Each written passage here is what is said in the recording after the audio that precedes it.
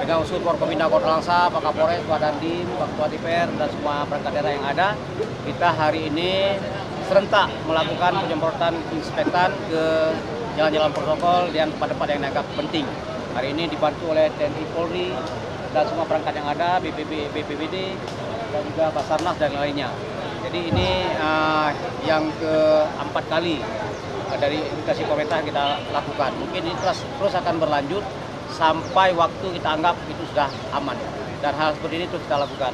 Kita ucapkan terima kasih kepada uh, Pak Kapolres, Pak Dandi yang telah memperakarsai uh, acara uh, kegiatan pada hari ini.